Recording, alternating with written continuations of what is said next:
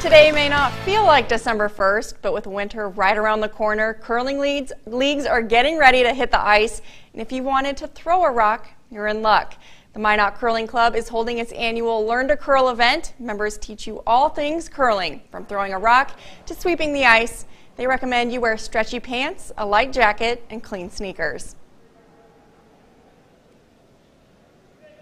This is an opportunity to come out and try curling, uh, play a small game. Once you've played a small game, you're known as a curler.